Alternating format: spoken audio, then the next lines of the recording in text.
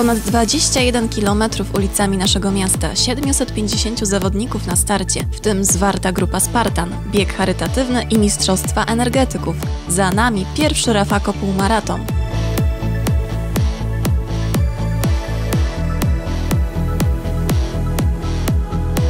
Jak mówią uczestnicy z kraju i zagranicy, była to wspaniała sportowa impreza. Dla Raciborza i Rafako, tytularnego sponsora tego wydarzenia, wielkie święto, a przy tym wyzwanie logistyczne i organizacyjne. Było gorąco nie tylko od emocji. Żar lejący się z nieba zdecydowanie podniósł poprzeczkę zawodnikom. Nieocenione okazało się wsparcie wolontariuszy i doping kibiców. Przeżyjmy to jeszcze raz. Sobota, 30 sierpnia, godzina 9.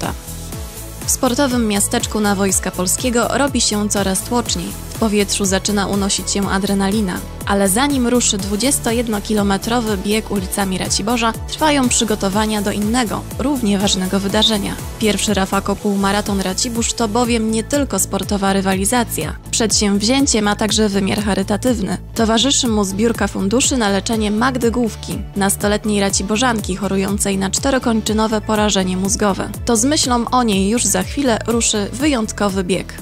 Jestem bardzo szczęśliwa i zadowolona, no, że tak licznie wszyscy tutaj żeśmy się zebrali i, i, i ten pierwszy Rafako półmaraton bieg dla mnie też jest wielkim wyzwaniem, bardziej chyba też dla męża, bo to on będzie uczestniczył w tym biegu, także życzę wszystkim powodzenia, dobrych wyników swoich w bieganiu, no i dziękuję, że tak licznie się zebrali dla mojej córki i ta akcja jest dla mnie bardzo wielkim, e, takim pozytywnym teraz e, przeżyciem. Dziękuję. Przedsięwzięcie wsparła Fundacja Spartanie Dzieciom, czyli największa w Polsce grupa biegowa, niosąca pomoc dzieciom niepełnosprawnym. Magda jest dzieckiem tutaj z Raciborza. Przyjechaliśmy, bo zaprosiła nas, e, poprosili nas rodzice Magdy o pomoc, zaprosili nas przedstawiciele organizatora tutaj, no, żeby przyjechać do Raciborza, żeby pomóc właśnie Magdzie, pokazać trochę tutaj też, jak można się bawić sportem, jak można biegać, a przy okazji pomagać i realizować inne cele. Czy w wielu imprezach biorą Państwo właśnie taki udział poprzez pomaganie niepełnosprawnym? Każdy bieg w stroju Spartan jest przeznaczony dla jakiegoś dziecka niepełnosprawnego. Czy W roku 3-4 imprezy biegniemy, maraton, półmaraton, biegi długodystansowe. Na linii startu obok Spartan ustawiają się dzieci wraz z rodzicami, osoby starsze, sportowcy i publiczność. Biegiem na 400 metrów, dając dowód temu, że nie jest im obojętny los niepełnosprawnej koleżanki.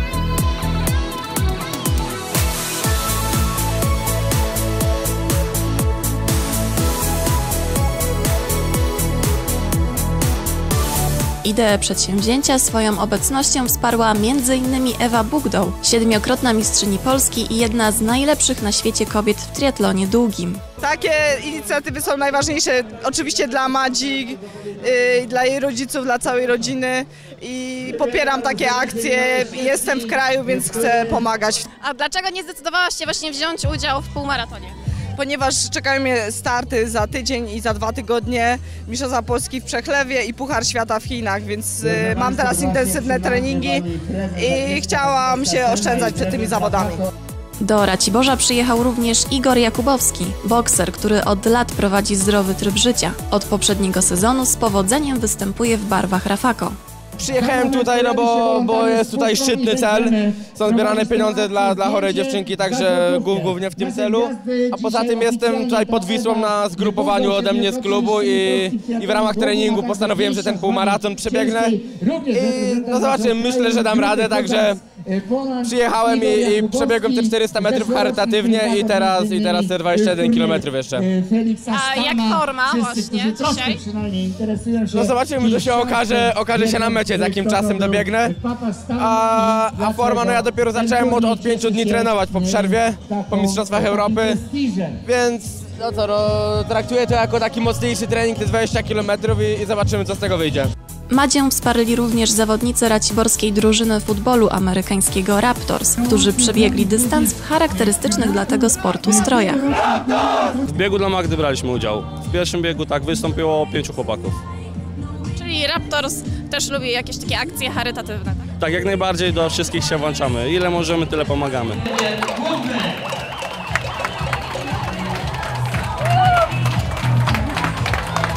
Po zakończonym powodzeniem charytatywnym biegu dla Magdy przyszedł czas, aby podnieść sportową poprzeczkę i to zdecydowanie. Dystans 400 metrów wydłuża się o 21 km. Na listach startowych jest 750 zawodników. Dla części z nich to pierwszy start na takim dystansie. Dla innych kolejny ważny sportowy sprawdzian, na który do Raciborza tego dnia wraz z miastem i ośrodkiem sportu i rekreacji zaprosiło Rafako, sponsor tytularny pierwszego raciborskiego półmaratonu. Nie ma nic bardziej energetycznego niż, niż bieganie, ale rzeczywiście sportowców mamy bardzo dobrych. Bardzo się z tego cieszymy, że nie tylko pracą ludzie żyją.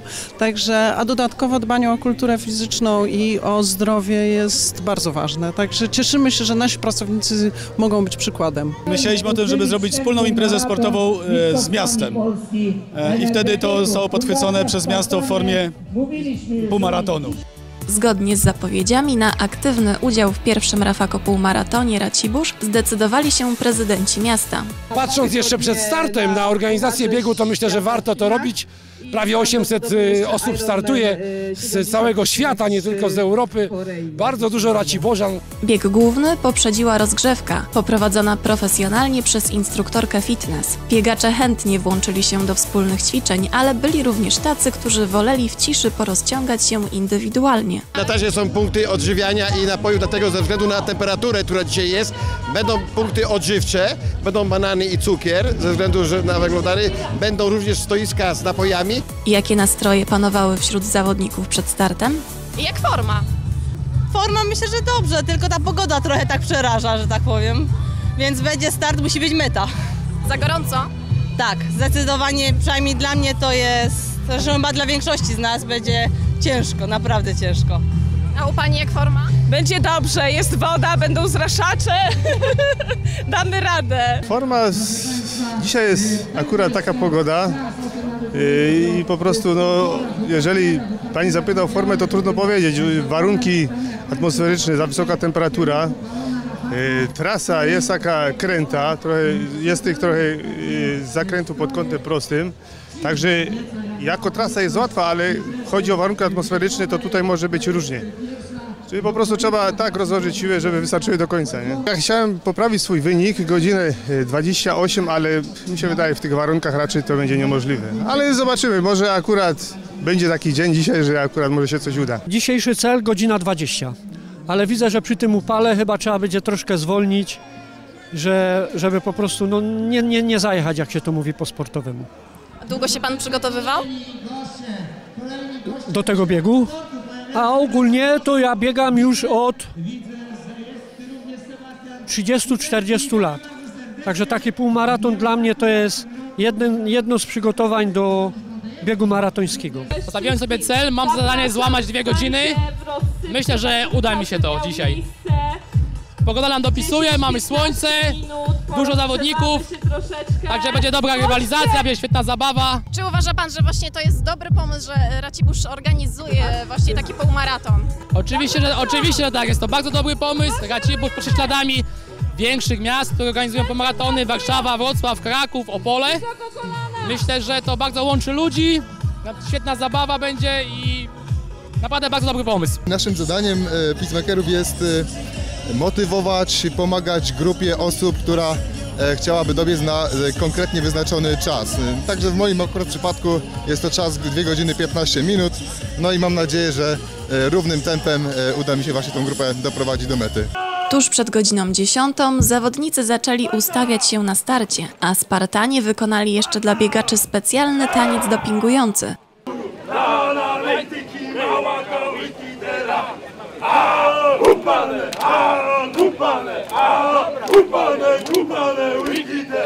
W końcu nadeszła chwila, na którą wszyscy czekali. Zawodnicy na miejscach, publiczność gotowa do dopingu i start.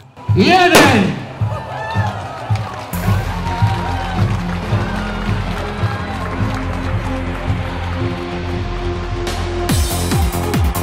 Siedmiuset pięćdziesięciu biegaczy wyruszyło zmagać się nieraz z własnymi słabościami. Grupę zamykali Spartanie. Zawodnicy biegli między innymi ulicami Wojska Polskiego, Nową, Mickiewicza, Drzymały, Opawską, Warszawską, Wileńską, Karola Miarki, Słowackiego, Mariańską, Stalmacha, Lądzina, Rynkiem, Batorego, Kościuszki i znów na Wojska Polskiego.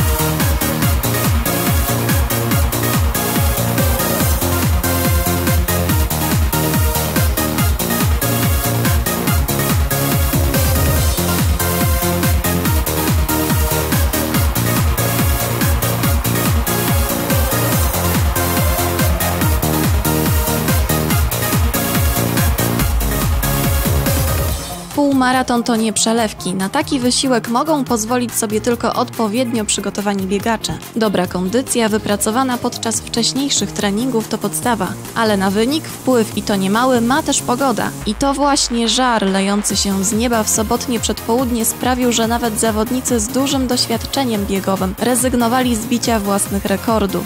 Nie wynik, ale samo ukończenie biegów stało się celem mniej wprawionych biegaczy.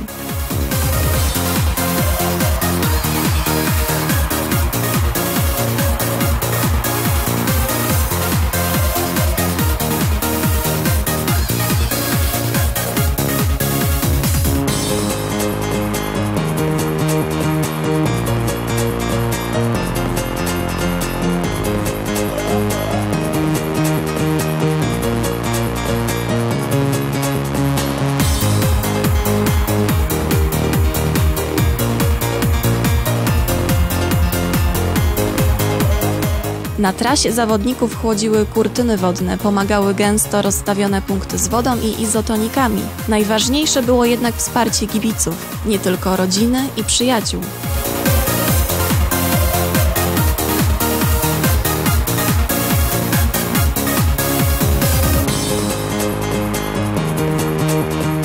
Dopingować zawodników przyjechała m.in. wicewojewoda województwa śląskiego Gabriela Lenartowicz. To fantastyczna inicjatywa promocyjna dla miasta, ale też promująca zdrowy tryb życia, bieganie, ruch. To jest niezwykle fajne i trzeba temu kibicować. Wśród dopingujących wypatrzyliśmy także wicestarostę powiatu raciborskiego, który niestety nie mógł wziąć czynnego udziału w półmaratonie. To jest świetna promocja właśnie miasta i ziemi raciborskiej a organizacyjnie, e, jeżeli to będzie dopięte tak jak e, było zaplanowane e, i nie będzie tutaj żadnych problemów organizacyjnych, to myślę, że informacja pójdzie w świat nie tylko tutaj na terenie naszego kraju, ale na tą część Europy, że otóż fantastyczny bieg z fantastyczną frekwencją, z fantastyczną pogodą, z fantastyczną publicznością a Raciborzanie są osobami, które są bardzo otwarte na, na turystów z zewnątrz. Wszystko co najlepsze, niech będzie w Raciborzu i na ziemi raciborskiej.